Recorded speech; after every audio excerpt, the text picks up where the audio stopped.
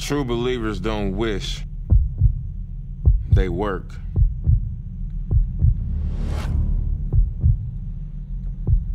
We take all the doubt we can get.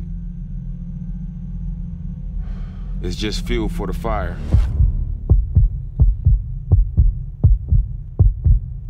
We don't believe the hype, just the grind.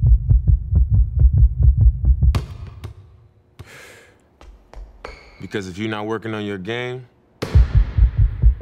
you're working on retiring.